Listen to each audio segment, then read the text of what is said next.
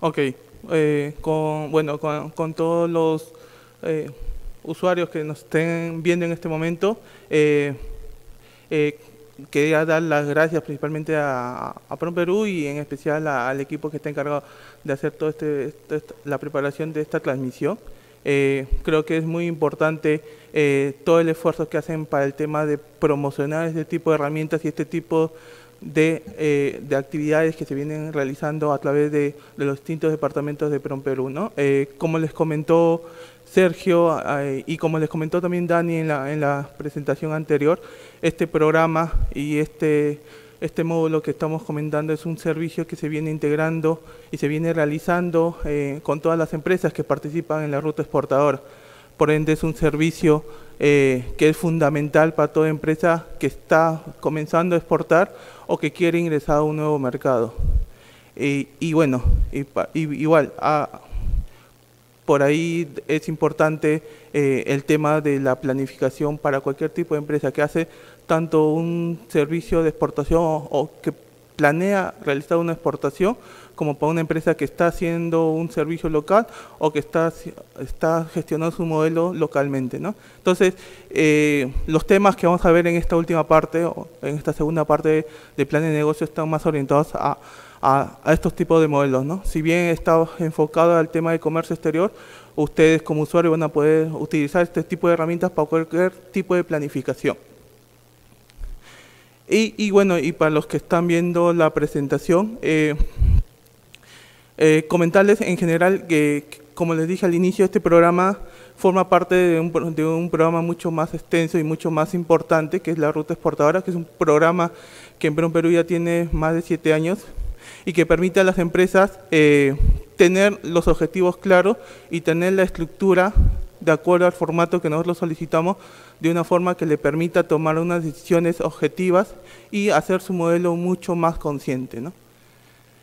Entonces, eh, desde ese punto de vista yo quiero comenzar un poco eh, fortaleciendo tres, conceptos que creo van a ser importantes para cualquier eh, persona que esté haciendo este tipo de, formulación o está haciendo este tipo de preparación de estructura de plan de negocio. tres conceptos que, que, nosotros compartimos y repetimos bastante a las empresas que están dentro del programa y que para ustedes le va a generar bastante tipo de, de, al menos formas de discusión interna. ¿no? Eh, uno, de uno de los principios que va a estar claro y que quiero que ustedes lo tengan claro al momento de hacer la formulación es el tema de sostenibilidad, el tema de consistencia y el tema de la diferenciación. Eh, como ustedes habrán visto en la primera parte, incluso en las presentaciones que han estado en el transcurso del día, eh, hay distintas oportunidades de negocios que uno puede identificar eh, revisando cualquier página de PROM Perú o cualquier otra plataforma de comercio exterior que existen a nivel internacional. Hay un montón de oportunidades, hay un montón de nichos de mercado, hay un montón de posibles clientes a donde nosotros podemos dirigir nuestros productos pero va a ser importante que a partir de ahora nosotros tengamos claros cuál va a ser la estructura de nuestro negocio, cuál va a ser el modelo y la propuesta de nuestro modelo de negocio. En este aspecto, la diferenciación es un punto clave. Eh, la diferenciación para que nosotros no veamos como competencia a una empresa local ni una empresa internacional, sino comenzamos a, comencemos a pensar en un modelo de negocio mucho más global, que integra tanto a los competidores, tanto como a los compradores como a las instituciones. Un modelo que, adicionalmente a, buscar la rentabilidad de la empresa también vea las capacidades que puedas tener con las distintas instituciones, con los organismos de comercio exterior que existen y recibir y aprovechar todo este tipo de apoyo. Un tema de consistencia que nosotros eh, definimos como el tema de, tener muy claro el objetivo que queremos lograr con el modelo de negocio y tener siempre presente este objetivo a lo largo de toda la formulación del modelo de negocio. Eh, como verán, eh, y como habrán visto en la primera parte, eh, nosotros a través de este módulo lo que tratamos de establecer es una estructura que permita objetividad al momento de la formulación. ustedes se habrán dado cuenta, incluso a través de las distintas exposiciones que me han predecido, eh, habrán visto que hay un montón de información comercial, hay un montón de información de comercio exterior que les puede servir a ustedes para tomar cualquier decisión y cualquier tipo de decisión que ustedes tomen va a ser válida. Pero eh, una vez que ustedes toman esta decisión, todo su modelo de negocio tiene que ser consistente a esta decisión.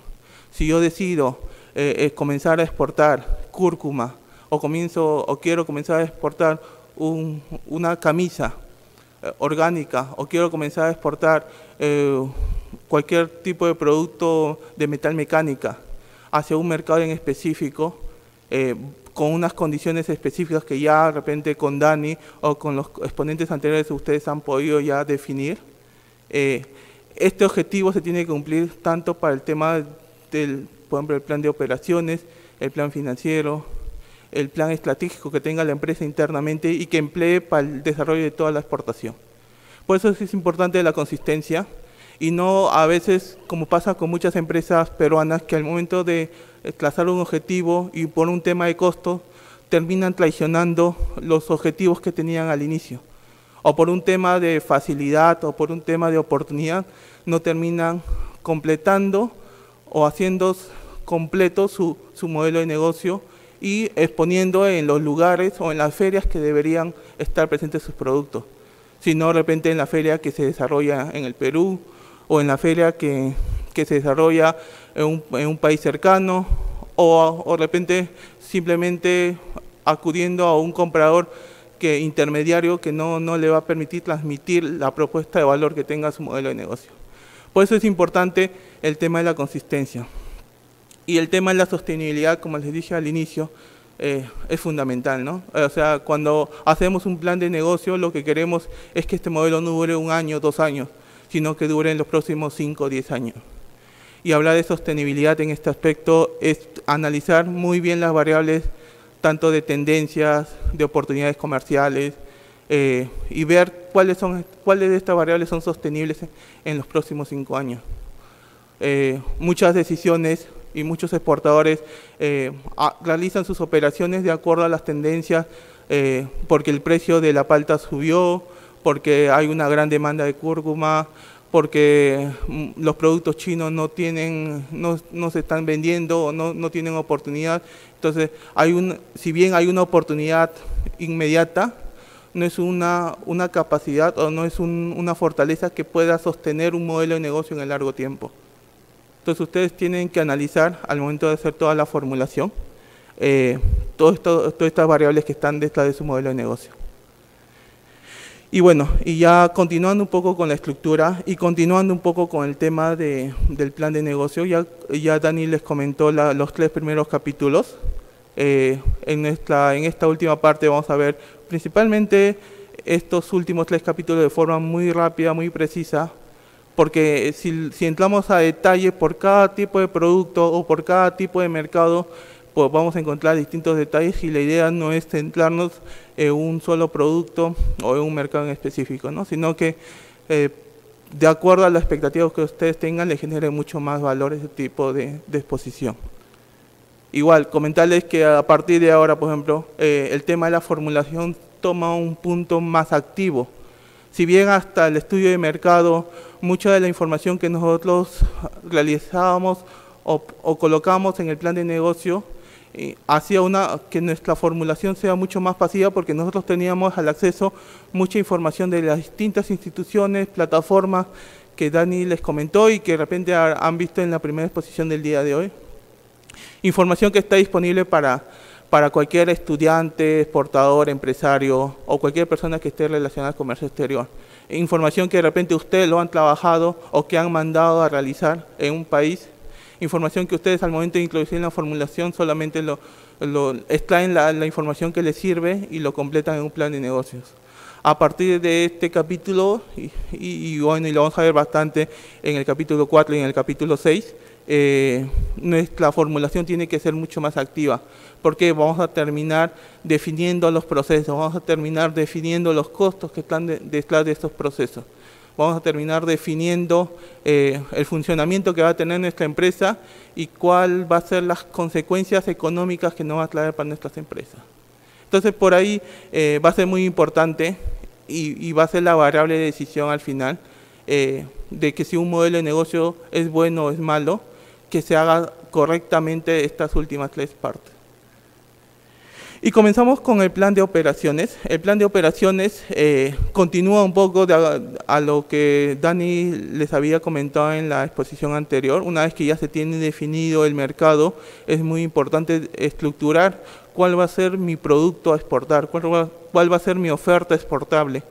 A partir de esa oferta exportable nosotros podemos, tenemos que definir cuáles van a ser las características, eh, qué certificados le vamos a colocar a este producto, qué restricciones va a tener para ingresar al mercado. Todas las, las características que me establece el mercado o que me establece el cliente al quien yo le voy a vender, me van a estar definidos en esta ficha producto. ¿Por qué? Porque a mí me va a permitir poder negociar con este cliente cuando yo tenga mi producto listo. Y, y estas variables que al final van a estar determinadas en la ficha producto, eh, están determinados por los insumos, por el personal que voy a requerir para producir y por los costos indirectos de fabricación. En otras palabras, eh, cuál es la materia prima que voy a tener que utilizar yo para el proceso de producción, eh, cuáles son el tipo de personal, operarios, administrativos, de ventas que van a estar dentro de mi empresa para poder gestionar todo el tema de la producción y de la venta y el costo indirecto de fabricación que son todos los alquileres, servicios que de repente voy a necesitar contratar para yo poder terminar de producir o completar la producción de mi producto.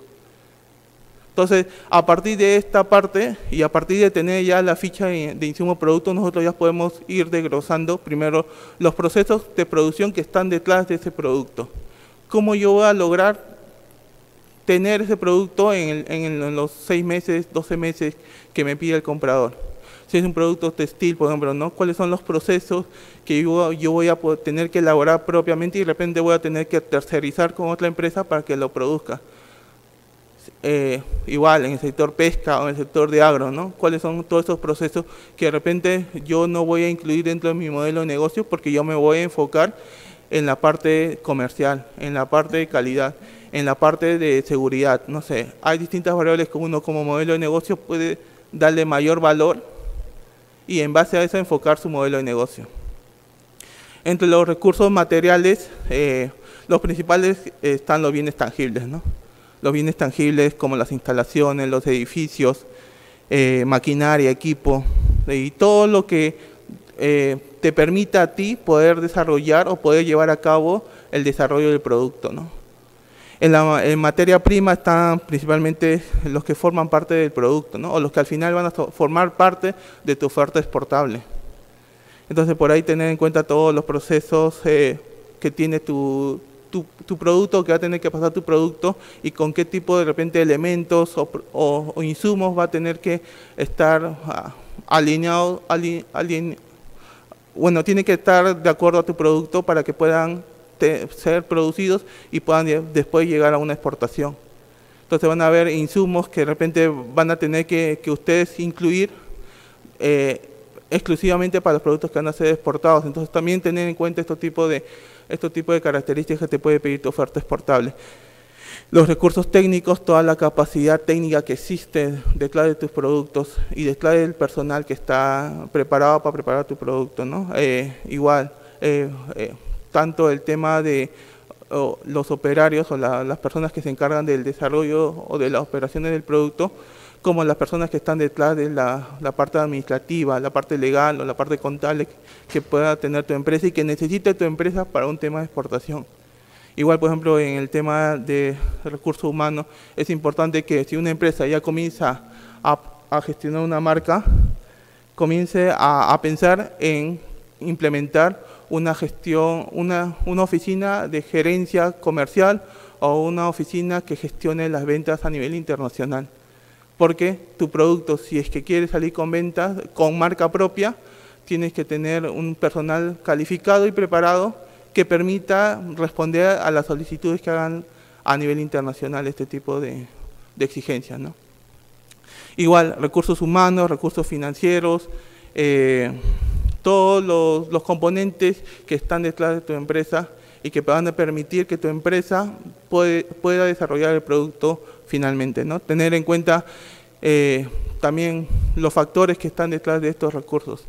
Eh, las condiciones que tanto la regulación nacional como la regulación internacional eh, exigen a, este tipo de, recursos. Ah, entonces por ahí van a comenzar a identificar de acuerdo al tipo de producto, de acuerdo al tipo de proceso que tenga tu empresa, eh, qué tipo de recurso es mucho más importante y qué tipo de recurso te va a generar mucho mayor costo y por ende una mayor necesidad de, de tomar mayor atención a los costos que están detrás de esto.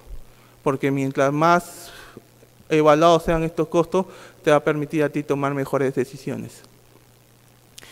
Igual los recursos financieros, por ejemplo, también tener en cuenta, ¿no? Muchos de los de los temas de exportación o de los productos que se van a ser exportados requieren una gran inversión de tu empresa. Y ustedes pueden ver que la cúrcuma puede ser una gran oportunidad para exportar eh, y pueden estar los precios internacionales muy altos, pero intentar o querer exportar esto requiere una gran capacidad financiera y una capacidad financiera que no muchas empresas o no muchas instituciones son capaces de apalancar. Entonces, tener en cuenta eh, cuál es mi capacidad actual de financiamiento, con qué instituciones yo me puedo respaldar, igual, y ver esos recursos que a mí me permitan poder tomar la decisión real, como decía al inicio, consciente, ¿no? O sea, eh, puede ser la gran oportunidad, puede tener una, una gran oportunidad, un producto a nivel internacional, pero si mi empresa no está en la capacidad de nada me sirve tratar de hacer todos los esfuerzos por este, este logro. ¿no? Entonces, ser, ser ahí también un poco más realista, un poco más objetivo. La lección 2 que, que, viene en este capítulo también es el tema de la cadena de producción. ¿no? Como habíamos visto, ya, ya se establece la importancia de evaluar los distintos recursos que nos permitan a nosotros elaborar el producto. También necesitamos conocer los procedimientos que están detrás de estos, de estos recursos cómo se enlazan estos recursos a través de una cadena de producción. Eh, y, cuál, y cómo esta cadena de producción se enlaza incluso a través de una cadena global de valor. O sea, nosotros necesitamos conocer todo el funcionamiento del producto, el tiempo que nos va a tomar producir este producto, eh, si hay algún tipo de, exigencia internacional o exigencia nacional que esté detrás de este proceso productivo y bueno, y evaluar todos estos costos que están dentro de estos procesos, ¿no? O sea, eh, a partir de este capítulo nosotros ya tenemos mucho más detallado cuáles son los recursos, insumos, materiales que vamos a utilizar para producir y cuáles son los procesos que van a llevar a, cabo mi producto o mi empresa para producir mi producto. Entonces, eh, ya comenzamos a identificar factores de costo, lo que nos va a costar. Y es muy importante acá ser bien detallista y estar de acuerdo y estar analizando eh, insumo por insumo, proceso por proceso, para no cometer ningún error y para no estar subvalorando algún proceso o subvalorando algún insumo. También te, comenzar a analizar ya esas variables de proveedores que están detrás de estos insumos, por ejemplo, ¿no? O sea, ¿qué, qué, qué proveedor me puede subir el precio? ¿Qué, ¿Qué tipo de proceso me puede costar mucho más caro? Si que comienzo a, aumentar mi producción eh, y ya comenzar a analizar esas variables que van a estar detrás generando incertidumbre al momento de tomar la decisión. Y esas variables se tienen que analizar, esas variables se tienen que estudiar. Y de acuerdo a, tu análisis de sensibilidad o a tu análisis que hagas con estos mismos proveedores o con estos mismos insumos, eh, tú vas a tener que tomar la decisión si es que, por ejemplo, lo incluye en mi proceso de producción propio o lo sigo tercerizando. Si, si mejor um, me asocio con el productor o si mejor lo manejo paralelamente con otra empresa. Son variables que ustedes van a tener que analizar en esta etapa y van a tener que decidir, decidir de acuerdo a la estructura de costos principalmente. Entonces va a ser importante que en este punto conozcan todo el funcionamiento de la cadena de valor conozcan todo el funcionamiento de su cadena de producción dentro de, su empresa, para que ustedes puedan tomar una decisión de qué tipo de costos pueden obviar o de qué tipo de costos pueden trabajarlo o, tercerizarlo con otra empresa. Conocer el flujo de proceso productivo también, ¿no? Acá dentro de una variable que va a ser muy importante al momento de tomar una decisión de exportación también, el tiempo. ¿Qué tanto tiempo me puede tomar producir? ¿Qué tanto tiempo me tengo que apalancar o me tengo que endeudar yo para producir un producto? Eh, el café, por ejemplo, muchos de ustedes habrán escuchado que el café es un commodity y por ende es fácil eh, comercializar el café, ¿no? Vas, eh, compras un contenedor, consigues un comprador y exportas tu, tu contenedor. ¿Cuánto tiempo se va a demorar ese contenedor en, el traslado internacional? ¿Cuánto tiempo te puede demorar a ti, no sé, a todo el café para poder exportar? Son procesos que pueden demorar cinco meses, seis meses, siete meses y, tener una rentabilidad de 20, 25% ya no es tan atractivo como de repente lo, fue al inicio o como lo, piensan muchas empresas que están eh, tratando de, de sobrevivir en este tipo de modelo de negocio, ¿no? Entonces, por ahí ver también, ¿no? ¿Qué procesos se pueden acortar? ¿Cómo te puedes asociar de repente con una cooperativa o con una empresa internacional que te facilite o que te acorte este tiempo, ¿no? Recuerden que en el tema de planificación, el tiempo y los costos son dos variables muy importantes. Entonces, si no tienen eh, en cuenta el tiempo cada vez que hacen o analizan una variable, no van a tener la información suficiente para tomar una decisión. Igual, eh, a través de, la estructura del plan de negocio, lo que nosotros eh, proponemos a las empresas principalmente es el tema de elaborar lo que son los diagramas de bloques, ¿no? Una estructura que se utiliza bastante en la planificación y es una estructura que nos permite, y no solamente a Prom Perú como empresa promotora, sino también a cualquier otra institución que vaya a evaluar o que quiera conocer el proceso productivo de tu empresa, conocer al detalle todos los procesos que hace tu empresa, y validar esta información de forma rápida, de forma que no tengas eh, ningún tipo de inconveniente y no, no genere ningún, ningún tipo de riesgo al, al, evaluador o a un agente financiero. Por ejemplo, si ustedes quieren acceder a un financiamiento, eh, la primera información que les va a pedir este agente financiero o esta institución financiera va a ser tu diagrama de bloques para saber qué tan vulnerable es tu, tu proceso productivo, qué tan vulnerable es al final tu empresa. ¿no? Entonces, mientras eh, más detallada esté y tú puedas analizar mejor todo la eficiencia de tu proceso productivo, va a ser mucho más atractivo tu modelo de negocio. Entonces, por ahí eh, se toma eh, como importante el, tener bien estructurado este flujo, este diagrama de bloques, para que ustedes puedan conocer cómo se ve en la gráfica o como ustedes pueden ver en la gráfica, todos los procesos que pasa tu producto. ¿no? Entonces, yo no puedo saber o puedo no saber casi nada de la producción de, polos o, de productos textiles, pero a través de un diagrama de bloques yo puedo entender en un minuto, en lo que me cueste leer el gráfico, eh, cuáles son todos los procesos que están detrás de eso, e incluso conocer los tiempos que me toma más o menos producir en promedio una camisa o producir un pantalón. Porque el diagrama de bloques me, me da esa información, me facilita esa información. Entonces tu empresa lo tienen que ver también de una forma de transparencia, de una forma de que genere más confianza. Eh, el tema de, mostrar estos diagramas, el, compartir o el tener claro cuál es la fortaleza que tiene tu empresa. ¿no? Igual, hay, distintas formas o formatos de diagrama de bloque. Mientras más complejo sea el proceso productivo dentro de tu empresa, más necesario se vuelve el tema del diagrama de bloques, porque nos va a permitir resumir esa complejidad, nos va a permitir poder analizar esa complejidad, incluso factores que puedan ser, o procesos que puedan ser paralelos, nosotros vamos a poder analizar a través de este diagrama de bloques y poder tomar la decisión de tercerizar para no tener que depender tanto de, de factores o de procesos paralelos o de repente si hay un proceso que está generando algún tipo de embudo, algún tipo de retraso con el resto del proceso, ver cómo generar alternativas que nos permita a nuestro proceso productivo ser mucho más eficiente, poder eh, ser más óptimos en temas de tiempo. Eh, recuerden que, que la competitividad a nivel internacional también se mide por el tiempo, no solamente por el costo. Entonces, si yo Mm, digo que, que, el Perú es poco competitivo porque no hay muchas líneas navieras o porque no hay muchas rutas aéreas que salen del Perú y tienen que pasar por Colombia y se demoran un día más. Eh, el día adicional que yo me demore en producir también me quita competitividad. También genera que mi negocio sea menos competitivo. Entonces, también ustedes tienen que ver desde un punto de vista mucho más estratégico, ¿no? Mientras más rápido termines de producir, mientras más rápido saques tu producción, mucho más rápido te van a pagar. Va a ser mucho más rentable tu modelo de negocio. Entonces, eh, es importante que consideren estas dos variables, como les decía, ¿no?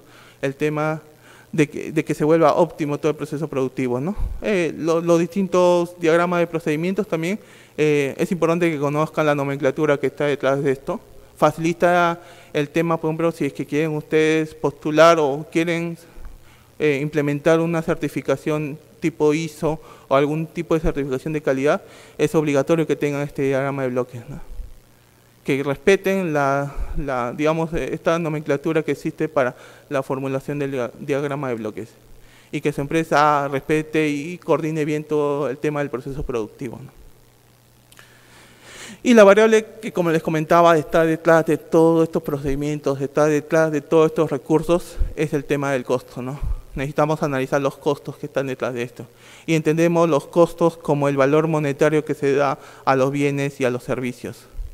Eh, y bueno, y que intervienen dentro de nuestro proceso productivo. ¿no? Entonces, por ahí, eh, es, una vez que tengamos definidos todos los recursos, todos los procedimientos, nos va a ser mucho más fácil asignarle un costo. Nos va a ser mucho más eficiente poder eh, diferenciar qué tipo de producto nos es más costoso o qué tipo de procedimiento nos es más costoso. Entonces, y seguro les ha pasado mucho a los, a los exportadores, que recién están iniciando o a los empresarios que están eh, viendo el tema de la exportación, que no saben eh, qué tipo de producto les es menos costoso o por qué cobrar menos por una variedad o por un color o por un tamaño diferente. Eh, muchos de, de, los productos, al no tener esta estructura de costo bien detallada, terminan asumiendo un costo promedio para todos los productos y al final terminas apalancando un producto que de repente no es tan eficiente y que, y que en, el peor de los casos debería tener un costo mayor, un precio mayor, porque el, procedimiento o el insumo que está utilizando es mucho más caro. Entonces tengan en cuenta el, el, tema de segmentar bien los costos, el tema de asignar bien los costos a cada procedimiento y a cada recurso para que ustedes tengan mucho más claro y puedan tomar una decisión mucho más eh, objetiva, ¿no? que es lo que buscamos. Bueno, acá eh, en la presentación vemos los principales costos. Como te digo, estos costos van a depender bastante de la cadena de producción que tenga tu producto y también del tipo de mercado el tipo de, requisitos que te pida el mercado para poder exportar. ¿no? De repente, si es que mientras más certificados implementes a tu producto o más certificados te pide el mercado, vas a tener que incluir mayores costos. ¿no? Entonces, también hay es importante que antes de hacer toda esta estructura de costos, ustedes ya tengan definido todos estos requerimientos que te pide el mercado o que te pide tu comprador. Igual, ¿no? A veces muchas empresas cometen el error de, tener todos los certificados y tener todo un respaldo de muchas instituciones que certifican su producto, pero al final el, el cliente no te está pagando el costo de todos estos certificados y una pequeña empresa o una MIPE que está iniciando no puede cometer este error o no puede darse, eh, eh, digamos, esta facultad de invertir en algo que no le va a generar un tipo de rentabilidad. Entonces tienen que tener muy claro y, definir muy, muy bien qué tipo de certificado voy a implementar y qué tipo de certificado le conviene a mi producto. Bueno, una forma de analizar los costos es principalmente el tema de la diferenciación por los costos fijos y los costos variables. Los costos fijos, eh, bueno, son los que dependen directamente del funcionamiento de la empresa, o sea, no dependen de cuánto se produce, que es como lo son los costos variables, ¿no? Eh, un típico ejemplo como para que entiendan esto, un costo fijo eh, va a ser igual así la empresa no produzca nada o produzca un millón de productos. ¿no? En cambio, el costo variable sí va a depender directamente de esta, de esta proporción de producción o de esta cantidad de producción y va a aumentar conforme va aumentando la producción. Entonces uno puede diferenciar todos sus costos, que ya los tiene estructurados tanto de insumos, recursos como procesos, cuáles son variables y cuáles son fijos. ¿Para qué? Para que al momento de calcular el precio unitario yo pueda hacer esta diferenciación y comenzar a, cubrir al menos mis costos fijos ¿no? con el precio del producto. O sea, si yo voy a exportar y mi punto de equilibrio de exportación para que mi empresa sea rentable es mil productos, pero un comprador me pide 500, yo le tengo que agregar este adicional del costo fijo de esos 500 que no estoy produciendo, para que mi empresa sea al menos esté en equilibrio ¿no? y no tenga pérdidas. Entonces por ahí es importante tener esta diferenciación entre cuáles son los costos fijos o los costos variables para que al momento de definir un precio final o un precio de negociación, ustedes puedan tener los mínimos precios aceptables de acuerdo a su estudio de costos. ¿no? Eh, cuando se vuelve mucho más eficiente un modelo de negocio, cuando los costos fijos son mínimos. Entonces te va a permitir a ti poder negociar mejor eh, por la cantidad. Pero igual, ¿no? Eh, son muchos de los costos fijos son obligatorios para todas las empresas, ¿no?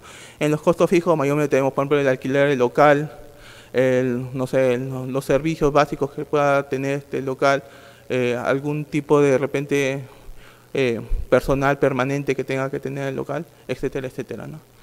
Eh, los costos laborales sí ya dependen del producto, como le dije, entonces va a depender, van a ser principalmente los insumos o los operarios o todo lo que está relacionado a la capacidad de producción que tenga la empresa.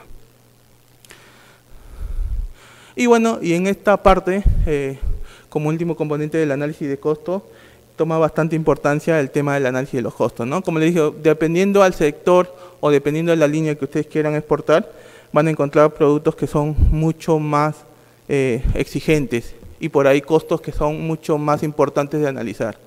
Hay costos como en el caso de manufactura, las herramientas que, que, se involucran para el tema del proceso de producción eh, o los elementos de seguridad que tienes que tener en cuenta, que son costos básicos y costos importantes en este, en, este tema, en este tipo de sectores. ¿no? Igual para el tema textil está el tema de la materia prima, lo que es el tipo de hilado, el tipo de fibra. En el tema de agroindustrial, eh, los insumos son una variable importante y mientras más detalladas estén y más analizadas estén, va a ser mucho mejor. El tema pesquero, también las maquinarias, las herramientas, en el tema de servicios, la inversión principalmente que se va a realizar. ¿no? Hay un tema de servicios, mayormente es un negocio B2B, entonces por ahí eh, va a depender bastante del tema de, cuánto voy a invertir yo para llegar a este comprador o para llegar yo con este tipo de, usuario. Y bueno, y para diferenciar un poco más estos costos a nivel de operaciones, se, determina o se, establece una estructura básica de diferenciación de los costos de producción por costos de materia prima, costos de mano de obra y costos de gasto de fabricación, como les había comentado. ¿no? En, la, en la presentación ustedes van a ver, por ejemplo, en el caso de un ejemplo de una empresa de textil, cuáles son los costos principales que está incluyendo esta empresa de textil. Eh, son prendas de dama, jersey amarillo. Entonces ustedes pueden ver todos los insumos que van a necesitar esta empresa para poder producir todos estos tipos de productos. Igual en el tema de mano de obra, ¿no? Todo el personal que está detrás de estos procesos productivos y que van a permitir que, tanto eh, los insumos como las maquinarias que, que tiene la empresa funcionen.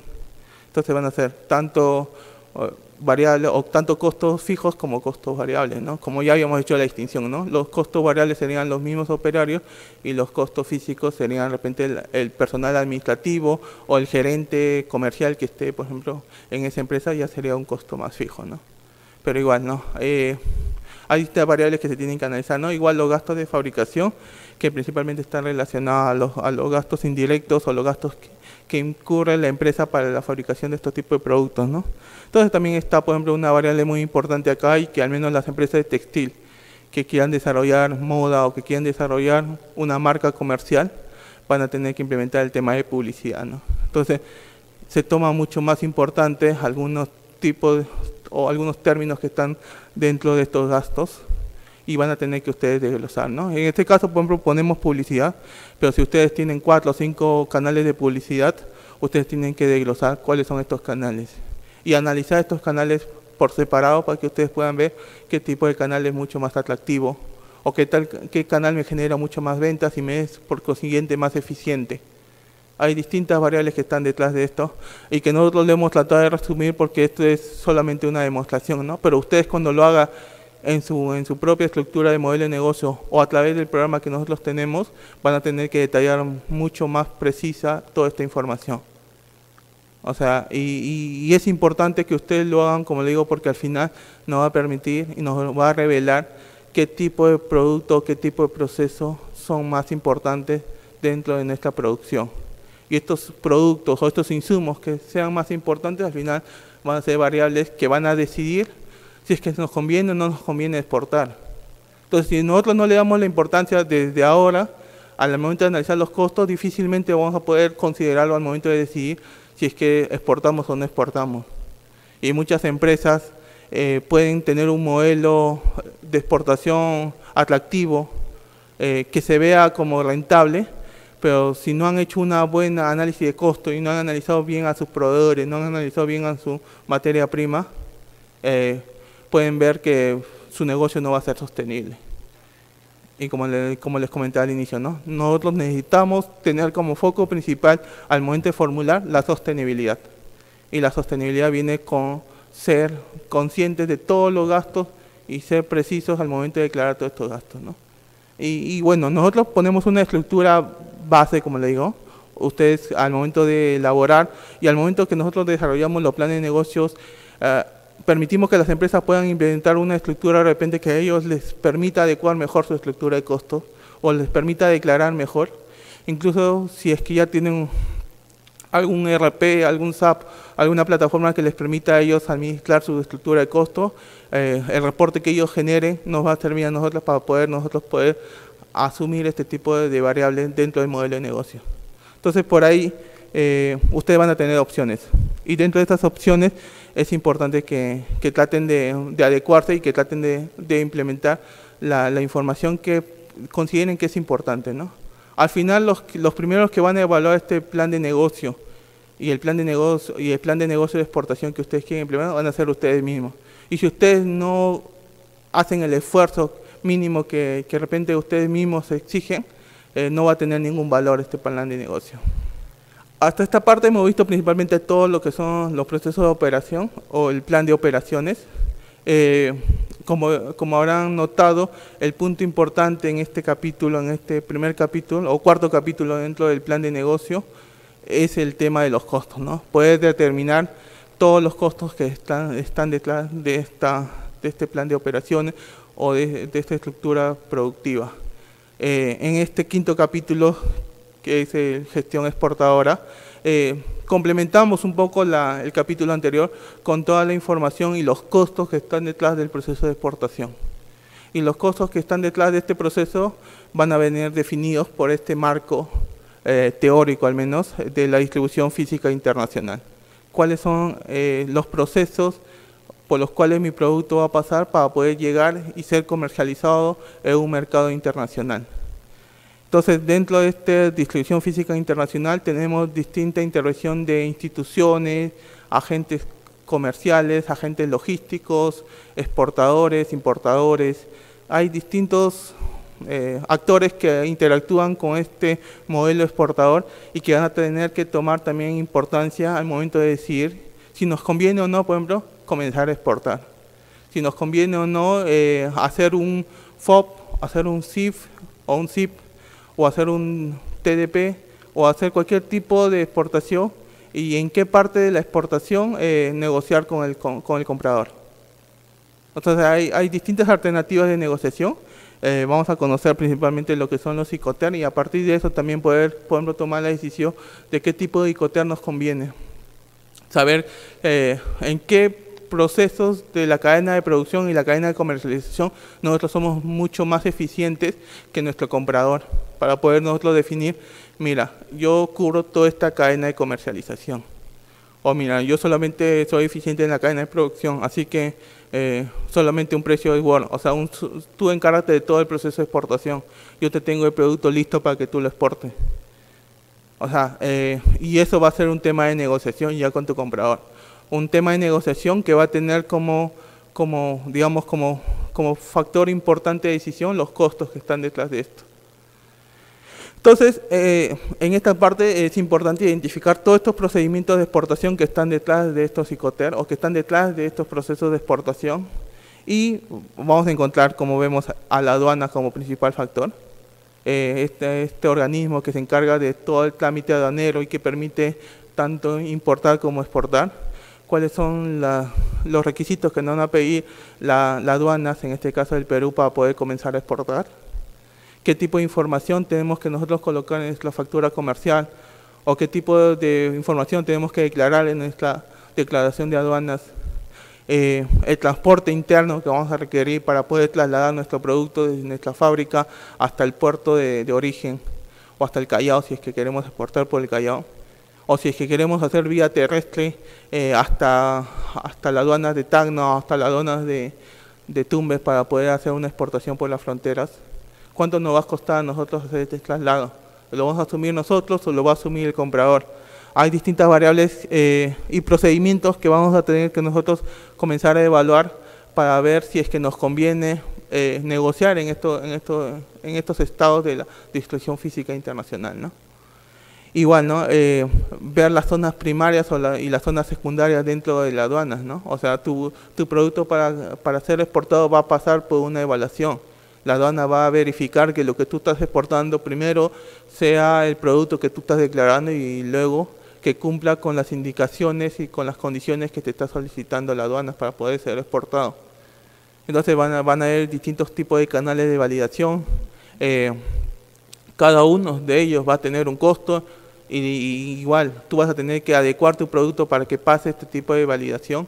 De repente algún tipo de, de de, análisis que tengas que hacer con tu producto para que la aduana pueda validar que tu producto cumple con esta condición o con este requisito fitosanitario, por ejemplo.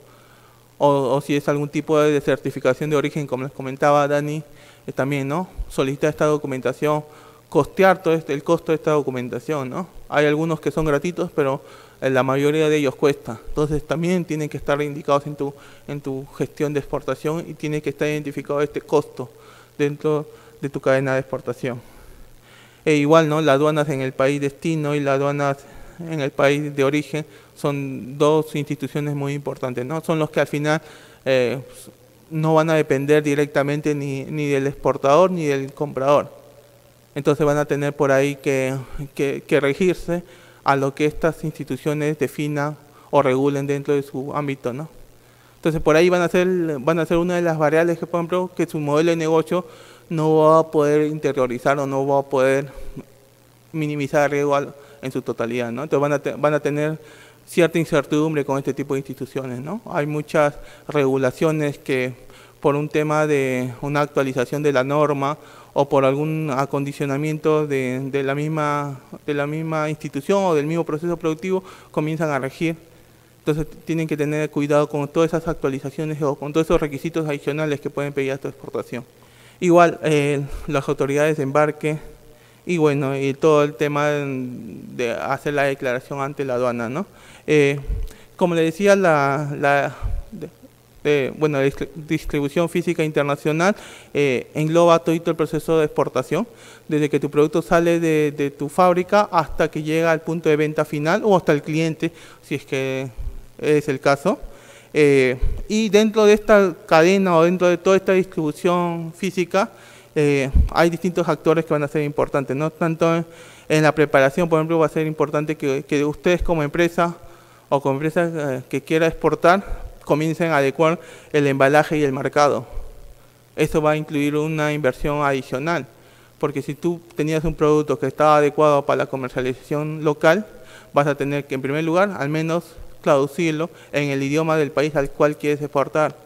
Y si por ahí este país te exige que pongas información adicional, que de repente no, no te lo exige eh, el Perú, vas a tener que adecuar esta, este etiquetado o este embalaje o este marcado a este tipo de estructura que te pide el país destino. Entonces ya hay una inversión adicional, un costo que ustedes tienen que incluir en el análisis. La unitarización también, o sea, el tema de poder movilizar el producto al momento de la exportación va, a exigir que ustedes manejen eh, unidades mínimas de exportación que les permita a ustedes minimizar los costos. ¿no? no van a contratar un pallet para exportar 10 kilos de palta o, o 20 kilos, sino ya hay una estructura y una mínima unidad de comercialización que les permita a ustedes no cubrir con un gran flete o, o no pagar un gran flete por esta comercialización. Entonces también conocer esto, ¿no? Eh, en terminales y almacenes el manipuleo quiénes son las personas que se encargan de gestionar este tipo de mantenimiento. ¿Cuánto nos cuesta o cuánto le cuesta a una empresa para estos tipos de servicios? Incluye el flete, incluye en el, en el costo que te cobra la línea naviera. Muchos de estos costos están, son adicionales y vas a tener que pagar adicionalmente y a través de un agente de carga o a través de otro tipo de, actor para poder, digamos, tener y poder realizar este tipo de actividades. Si no, eh, tu producto puede estar en el muelle del Callao, pero si no has cancelado la estiva, nadie lo va a subir al buque y por ende nunca se va a exportar. Entonces hay distintos costos que si alguno se pone de repente a analizar detalladamente van a ver que son importantes a los almacenes también, el tiempo de almacén, o sea, si tu producto va a pasar por una supervisión super, o va a ser supervisado por la aduana y va a requerir un tiempo adicional, va a ser importante que también consideres el costo de almacenaje adicional que va a estar tu producto y que vas a tener que pagar por tu contenedor o por tu producto en específico.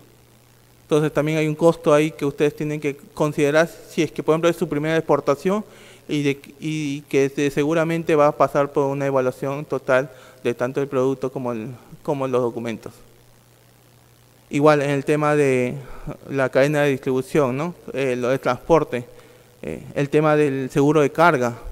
Ahora con los nuevos Icoter eh, se ha modificado bastante y se ha dado bastante importancia al tipo de seguro de carga que uno gestiona o negocia con el comprador y que al final va a determinar y va a ser importante para el precio final de negociación. ¿no?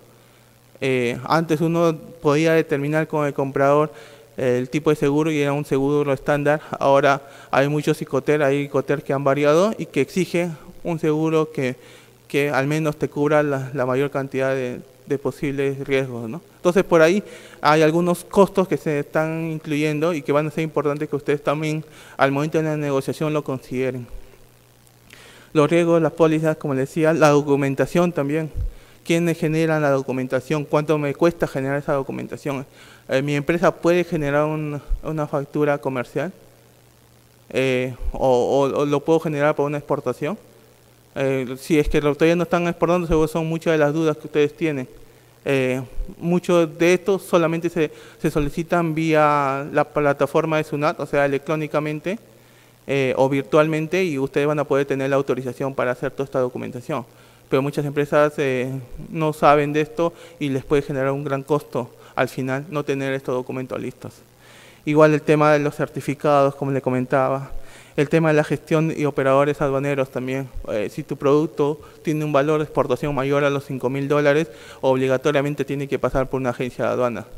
Y al pasar por una agencia de aduana ya implica que tú pagas los servicios de esta agencia de aduana y también las exigencias que te va a pedir la aduana por este tipo de productos que van a ser tramitados, ¿no? O sea, ah, un costo adicional. Igual, eh, tengan en cuenta eso, ¿no? Muchos, muchas empresas y, en especial las pymes que están comenzando a exportar optan por comenzar con una exportación a través de exporta fácil o a través de una exportación simplificada para no tener que cubrir todos estos sobrecostos ¿no? de, de adonaje pueden ser una opción para ustedes también o para las empresas principalmente que están en el sector de vestimenta. Igual el tema de los bancos, el, el, tema financiero, es importante que, comiencen a tomar eh, importancia en, las variables que, son, que están detrás de, esta, de estos operadores. ¿no? El tema de la gestión de la distribución también, ¿no? el personal operario que se va a tener que contratar tanto para de repente dentro de la empresa o, o dentro de la, del almacén, por ejemplo, ¿no? para que haga el manipuleo de la mercadería.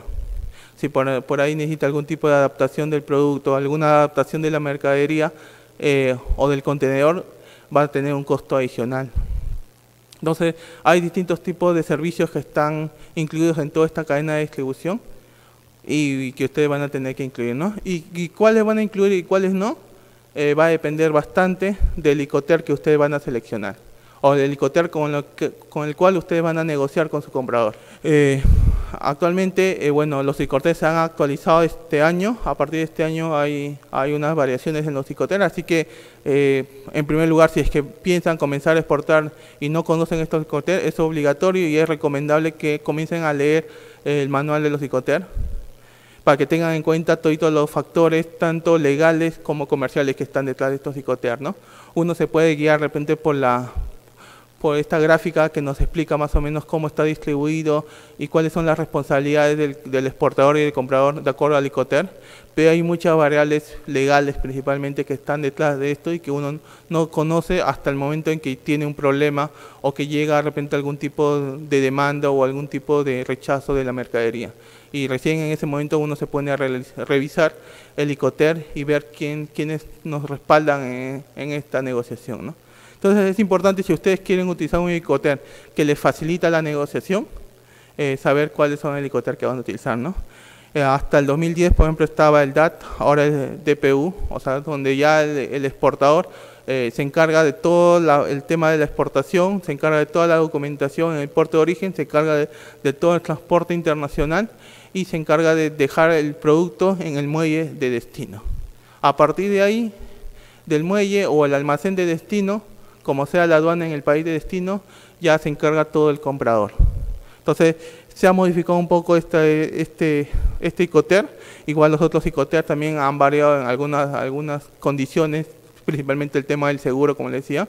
La mayoría, la mayoría de ellos consideraba el seguro básico, el tipo C, que hay a nivel internacional, que solamente cubre los riesgos básicos, pero hay algunos ICOTER que, que, que ya han acondicionado el tema de incorporar el, tipo de seguro A, que es mucho más a todo tipo de riesgo, ¿no?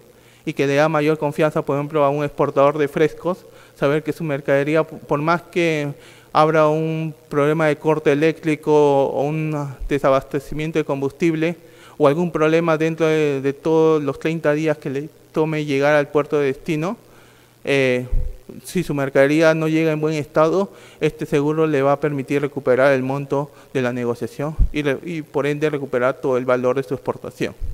Entonces ya hay seguros que te permiten facilitar este tipo de negociación. Tengan en cuenta bastante esto y tomen importancia al menos a revisar estos ticotes. Yo siempre, al menos a las empresas que están dentro del programa de planes, siempre recomiendo, si ustedes no, no tienen confianza o, o no han leído al detalle un ICOTER, mejor traten de definir la negociación fuera de los psicoteas. O sea, ustedes mismos determinen eh, de qué se están haciendo responsables y el comprador de qué se va a hacer responsable. Porque simplemente si por facilidad solamente escogen un ICOTER y no han revisado la documentación y, los conceptos legales que están detrás de este ICOTER, eh, al final van a tener problemas. Entonces tengan bastante cuidado con esto. Y bueno, y, parte de, los servicios que nosotros brindamos y las facilidades que da Perú para el tema del análisis eh, logístico o gestión exportadora que nosotros vemos dentro de este capítulo, vemos también la facilidad de poder acceder a estas herramientas, herramientas logísticas, lo que es eh, las rutas aéreas y lo que es eh, las rutas marítimas, ¿no? y el directorio logístico y finalmente la herramienta de cubicaje. Son tres herramientas que ustedes van a verlo eh, que ustedes pueden revisarlo en, cualquier computadora, celular, que les va a permitir a ustedes tener mucho más claro cuál es la dimensión de su exportación y cuál es el costo promedio que tiene esta exportación. A partir de esto también van a poder conocer los tiempos de la, de la exportación. Por ejemplo, cuánto tiempo se demora en llegar mi producto a China, cuánto tiempo se demora en llegar mi producto a Estados Unidos, cuánto tiempo se demora llegar mi producto a África o a un país de África.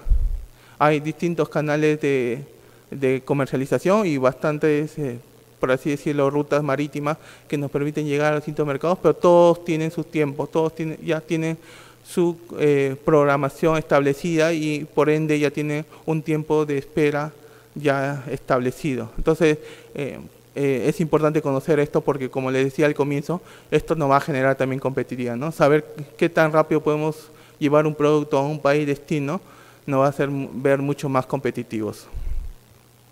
Igual el tema de herramientas de cubicaje que, nos ayuda a calcular, por ejemplo, la capacidad y el costo en promedio que nos puede costar eh, completar o tener que acopiar en un contenedor para poder saber el costo que nos corresponde a nosotros poder pagar por ese por esa exportación. ¿no? Si es que no completamos un contenedor, por ejemplo, cuánto nos correspondía pagar a nosotros por el volumen que tiene nuestro producto.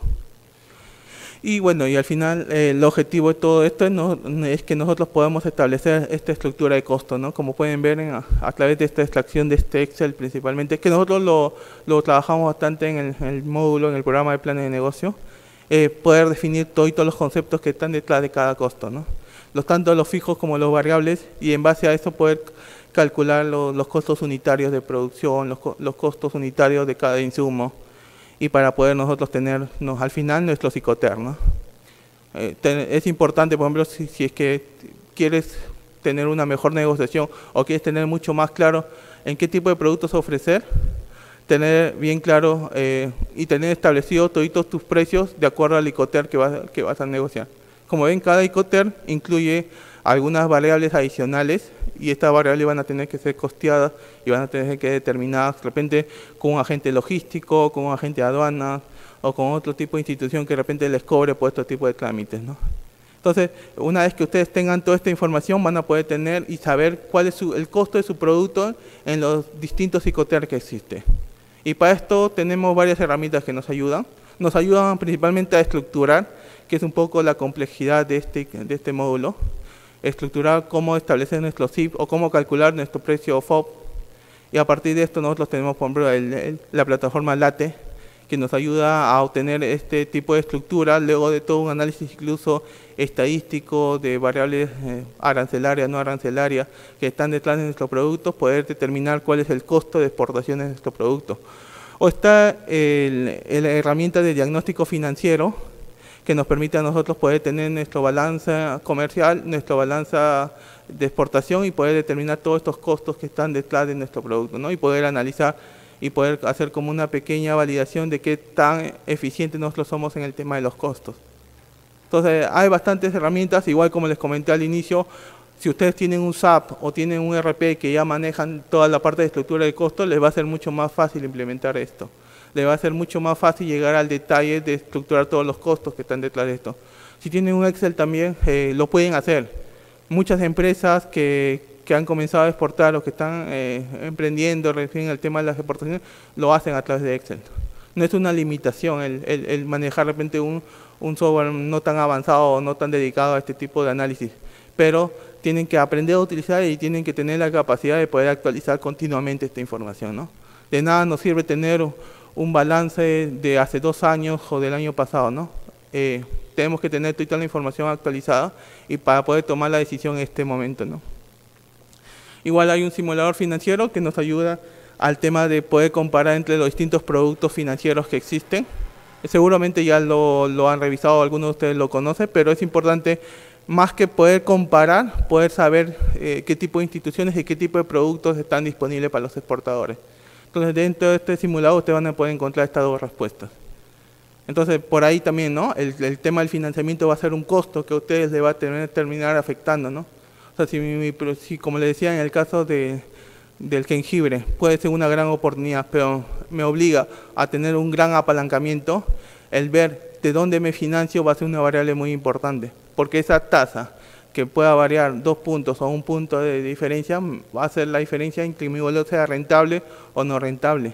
Entonces, tener acceso a un financiamiento que sea mucho más accesible, mucho más barato, con una tasa mucho más baja, me va a generar una rentabilidad en mi modelo de negocio.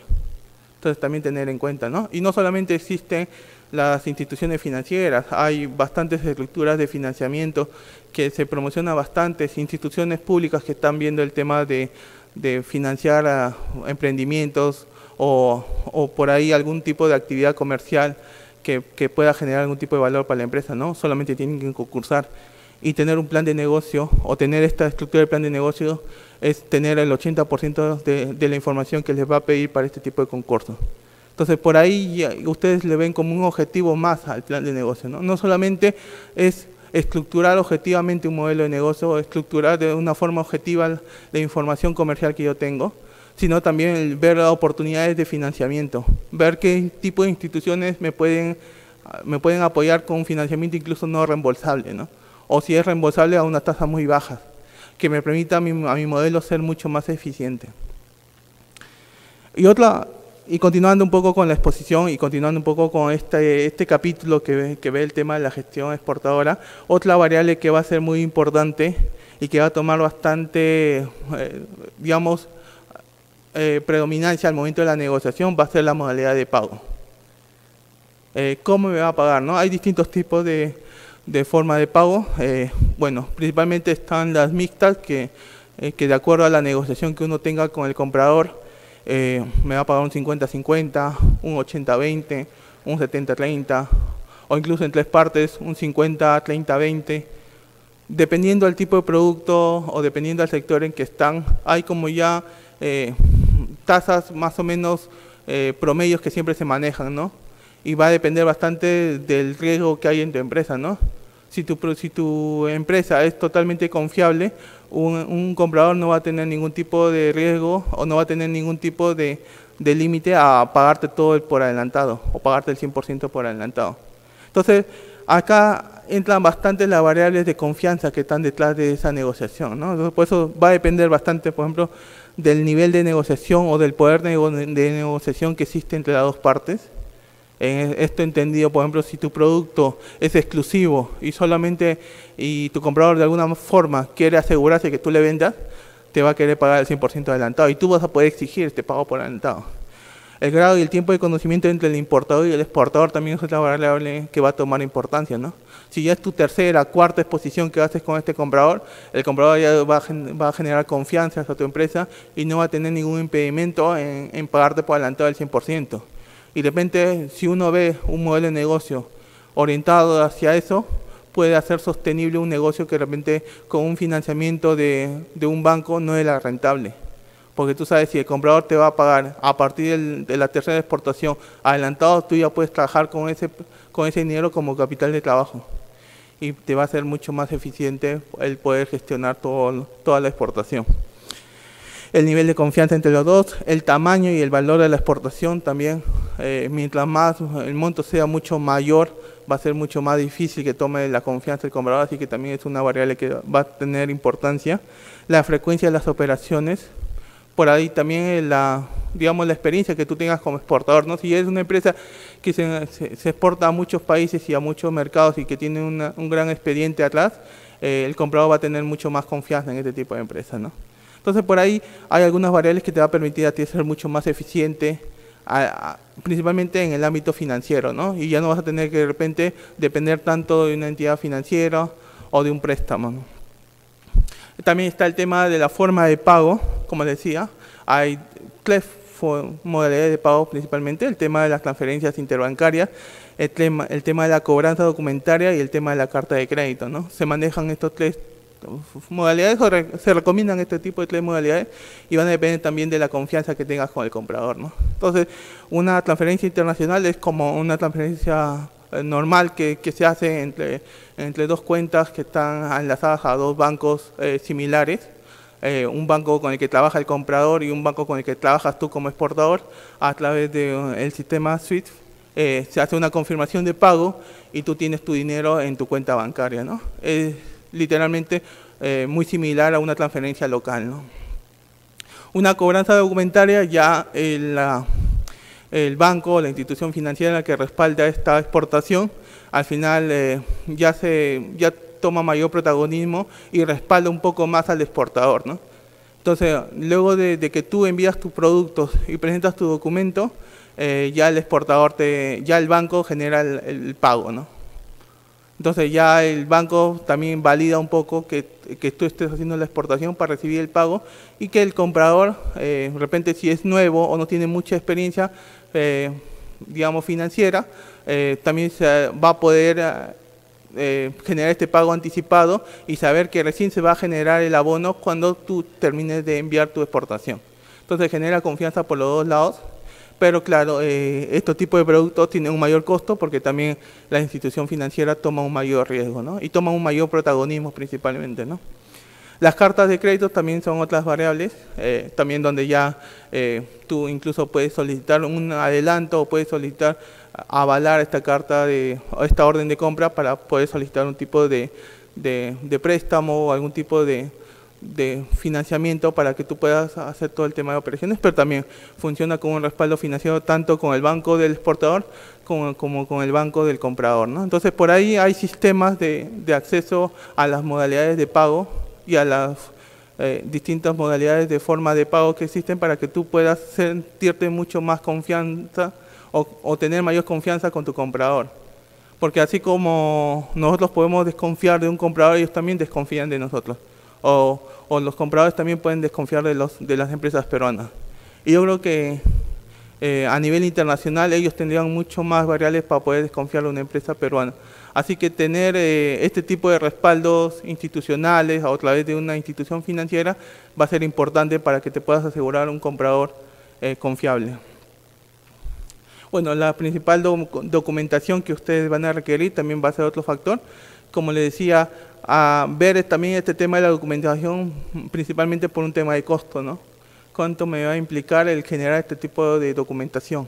Si es un certificado fitosanitario, si es un certificado sanitario, si es un certificado de productos bio y los biológicos, eh, dependiendo al tipo de producto, a la, a la naturaleza de mi producto, me van a pedir distintos certificados. Y yo tengo que tener la capacidad de primero costear todos estos procedimientos o todo esto, todos estos permisos y luego poder tenerlos preparados para la exportación. Entonces, eh, también los costos que están detrás de esto, ¿no? Eh, igual dejo en la presentación principalmente un modelo de este tipo de, de facturas comerciales y toda la documentación que principalmente no, nos solicitan al momento de, exportar, ¿no? El BL también, por ejemplo, que nos no, genera la, empresa o la línea naviera que no va a hacer la exportación, que permite tanto conocer eh, el tiempo que no demora, los costos y, la procedencia y toda la información del comprador y del exportador, ¿no? A través del, del, comercio internacional. Y ya en esta última parte, y como terminando con, los seis módulos que tiene el plan de negocio, vamos a ver el plan de financiero. El plan financiero que parte de una variable o de una palabra que es muy importante y va a ser importante para, para todo el análisis que vamos a hacer en este capítulo. El tema de las premisas. Las premisas entendidas, como dice en la presentación, eh, como una condición, situación o estado del proyecto o de su entorno que asume como verdadera para la planificación. O sea, son esas variables que yo les comentaba que tenían que comenzar a identificar tanto en los proveedores, tanto en la competencia, tanto en las instituciones, tanto en el mercado como en el producto, que al final nosotros no podemos eh, analizarlas o no podemos eh, trabajarlas internamente.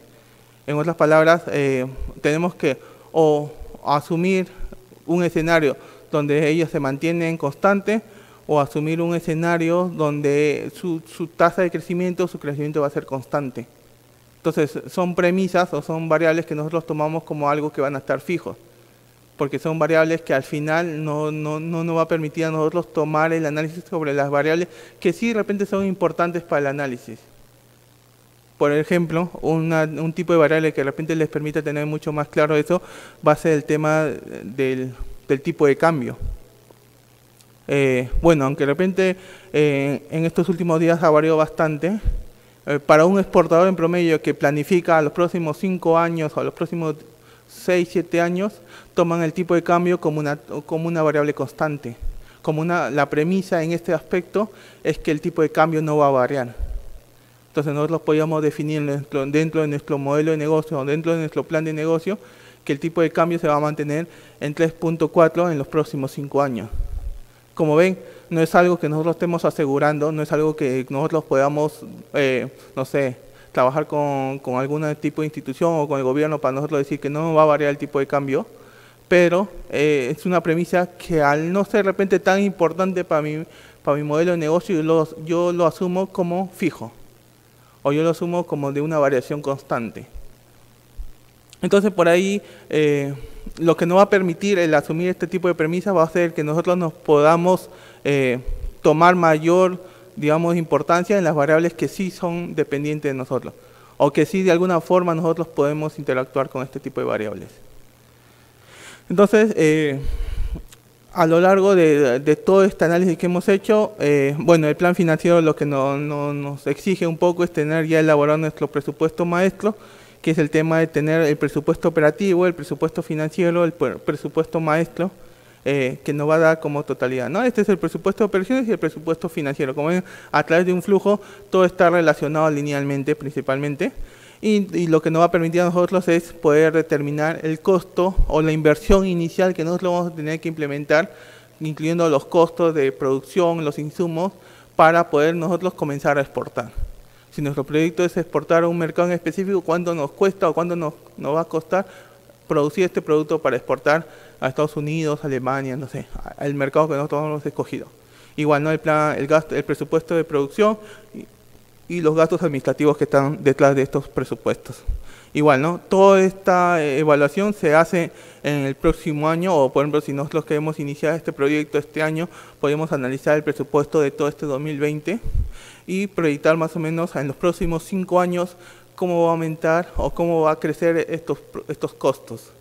Igual, a nivel de, ingresos también tendríamos que hacer eh, este mismo análisis, ¿no? O sea, si ya tenemos más o menos, eh, eh, digamos, estimados, de acuerdo al análisis que hizo Dani en la, en presentación anterior, cuánto nosotros esperamos vender o cuánto nosotros podríamos vender de nuestro producto, también estimar cuánto va a crecer este, este producto o estas ventas en los próximos cinco años. Y de acuerdo a esto, nuestra estructura de costos también va a variar. algunas variables, algunos costos que son fijos, se van a mantener estables o van a variar muy poco y algunos costos que son variables, esos sí van a variar conforme va aumentando la producción. Entonces por ahí, se toma bastante importancia el tema de haber segmentado estos costos en estos dos tipos de costos, ¿no? entre fijos y variables, para nosotros poder proyectar en los próximos cinco años y bueno y analizarlos. ¿no? Igual, eh, nosotros eh, digamos proponemos que el análisis sea cinco años. En realidad eh, siempre el análisis eh, por un tema académico se establece que sea entre 3 a 5 años máximo para que pueda ser mucho más objetivo y no dependa mucho de variables que de repente eh, van, a, van a comenzar a, variar en los próximos años. ¿no? Entonces, mientras más, más próximo, entre 3 y 4 años sea, va a, ser mucho, va a tener mucho, mucha mayor validez el plan de negocio. Y si lo hacemos a 10 años, posiblemente ya pierda cierta objetividad, porque muchas de estas premisas que vamos a tomar en el plan de negocio no van a ser tan estáticas, ¿no? No van a ser tan, tan digamos, predecibles. Entonces, por ahí eh, nuestro modelo de negocio o nuestro plan de negocio pierde valor.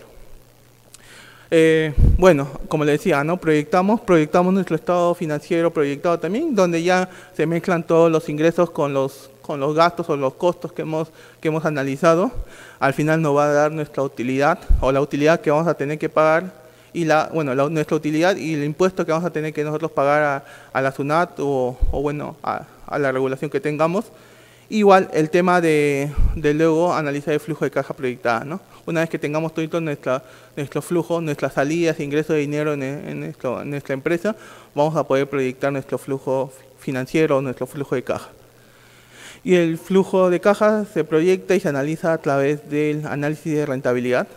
Eh, principalmente a, través del análisis del BAN y del TIR. El caso del BAN, como ven la fórmula, eh, es muy sencilla, aunque puede por ahí generar algún tipo de, rechazo visualmente al inicio, es muy fácil de entender, es solamente analizar los flujos eh, de todos los años, de los próximos cinco años en el caso de nuestro plan de negocio, eh, actualizados o llevados a la fecha actual. ¿no? ¿Y cómo se llevan estos flujos futuros o cómo se traen estos flujos futuros a la fecha actual, es a través de, esta, de esta deducción o, dividiéndolos entre el eh, uno más la tasa de, interés que nos, cuesta nuestro financiamiento. ¿no? Entonces, a través de esta tasa de descuento que nosotros hemos incorporado en el análisis, nosotros podemos eh, actualizar nuestros flujos futuros al periodo actual y en, el periodo actual ya poder analizar. ¿no? Si nuestro BAN final, después de este análisis, es positivo o es mayor a cero, digamos que es un proyecto rentable. Es un proyecto rentable. Igual, otro, otro, de los análisis es a través de la tasa interna de retorno, el TIR, que lo que nos, nos dice esta tasa es, es principalmente hacer el análisis de forma contraria. ¿no? Entonces, en vez de, de hacer la diferencia, lo que hacemos nosotros es igualamos esta, esta diferencia a cero, para calcular este, esta tasa de retorno que al inicio era dato que nosotros decidimos, lo tomamos como dato y analizamos esta tasa de retorno para ver cuál es el, el digamos, lo que nosotros esperamos recibir por cada sol que estamos invirtiendo en esta empresa. ¿no? Entonces, por ejemplo, en este caso el, TIR nos puede salir 20% y lo que nos dice es que ah, si nosotros hacemos el van a cero, nuestro rendimiento de cada dólar que, que, invertamos en este negocio nos va a generar un 20%, ¿no? o sea, 1.20 céntimos de dólar ¿no? por cada dólar que invertamos. Esto es principalmente el análisis que está detrás de esto, lo que nos va a permitir a nosotros es poder primero saber si nuestro modelo nos va a tener a través del BAN, si nos va a tener algún tipo de rentabilidad y luego a través del TIR, qué tan rentable es esto, ¿no? Digamos, dimensionando a forma proporcional y en porcentaje, qué tanto dinero me genera esta, este tipo de, inversión. Y bueno, y lo que está detrás y lo que es más importante en este plan financiero y que es eh, la idea que yo les quiero que le lleven, que lo tomen claro y que lo lleven como, idea principal, es el poder analizar cada una de las variables que nosotros hemos, hemos definido a través de todo el plan de negocio, a través de un análisis de sensibilidad. Y este análisis de sensibilidad lo que nos va a permitir es poder saber si en un escenario pesimista, probable, optimista, eh, qué tanto nos va a afectar a nuestro modelo de negocio. Entonces, si yo, por ejemplo, había considerado que el precio de mis insumos, de mi de mis hilos para, mi, para producir mis camisas costaba un dólar en promedio y en un escenario pesimista cuesta eh, un dólar y medio y en un escenario optimista cuesta 80 céntimos de dólar, en un análisis de sensibilidad yo puedo saber si con estas tres variables o con estas tres opciones, eh, en cuáles de estas se vuelve negativo mi va y en cuáles de estas mi TIR se vuelve muy, muy bajo para no hacer rentable mi modelo de negocio.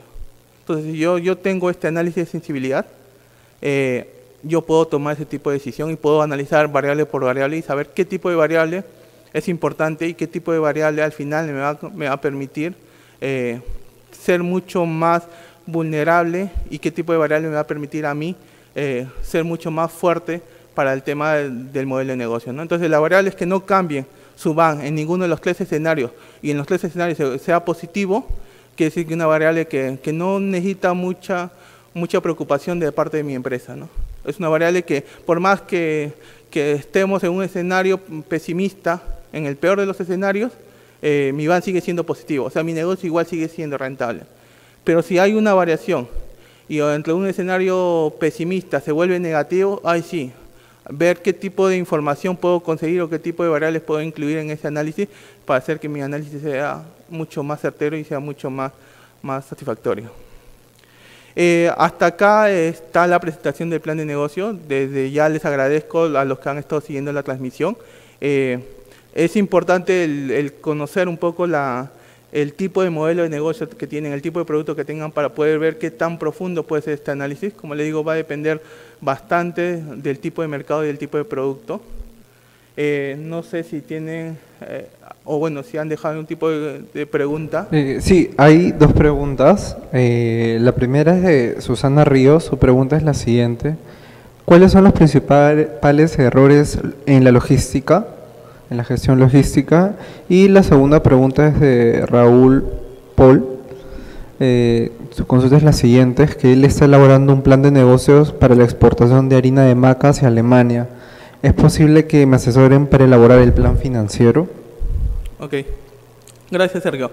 Eh, con respecto a la primera pregunta, eh, eh, mira, yo no podría, hablar directamente de las más frecuentes, porque no he analizado específicamente todas las exportaciones y no, no, conozco mucho el tema de, del tema logístico, principalmente el tema de las exportaciones, pero sí bajo la experiencia de los planes de negocios que yo he asesorado y de las empresas con las cuales yo, yo me he comunicado, es bien importante que ustedes tomen en cuenta y sean conscientes si les conviene hacer una gestión por toda la cadena global de logística o negociar directamente con cada uno de los actores. Entonces muchas empresas por un tema o muchas empresas buscando el tema de ser más óptimo o reducir costos de alguna forma, terminan gestionando con cinco o seis operadores logísticos, la línea naviera, el agente de aduanas, el agente de carga, el agente de transporte, y terminan a veces asumiendo ciertos riesgos que ellos no son capaces de poder sostener. ¿no? Entonces, ¿qué pasa si tu mercadería eh, le ocurre algo en este, en este transcurso de pasar de la gente de carga a la gente de aduana? ¿Qué pasa si tu mercadería le pasa algo en, en esos intervalos de riesgo? Ahí termina siendo uno de los principales problemas. ¿no? Entonces, a veces es recomendable eh, que las personas o los agentes que tengan mayores capacidades de, de poder fortalecer y poder responder ante un riesgo de este tipo, asuman toda la responsabilidad. ¿no? Entonces hay agencias de aduanas o agencias logísticas que integran toda la cadena y que te pueden dar una mayor seguridad, al menos para una primera exportación o para las primeras exportaciones. ¿no? Creo que, que al menos uno debería considerar eso como un factor de, de no, no tomar tantos riesgos al inicio conforme ya voy aprendiendo, conforme voy eh, teniendo mayor experiencia en el tema de comercio exterior, ya puedo ir comenzando a dimensionar un poco más los gastos en el tema de la gestión logística. Eh, bueno, sería principalmente uno de los principales riesgos. Con respecto a la segunda pregunta, eh, nosotros tenemos el programa Planex que está dirigido a las empresas exportadoras. si ustedes están interesados, en la presentación está mi correo, me pueden escribir o, si tienen alguna, algún conocido, algún, algún pariente o, alguna, algún, bueno, alguna empresa que de repente ustedes sepan que, necesita este tipo de servicios, le pueden pedir o le pueden, le pueden por así decirle, recomendar que me, que me escriban para evaluar a su empresa y poder gestionar un, que participen al programa. Eh, igual, si, tienes alguna consulta me puedes escribir a mi correo y, normal eh, yo te puedo responder directamente, ¿no? Pero eh, si en verdad estás interesado en exportar y ya tienes tu empresa, yo te recomendaría que ingreses al programa Planes de Negocio. Ahora sí, muchas gracias y creo que con eso terminamos. gracias.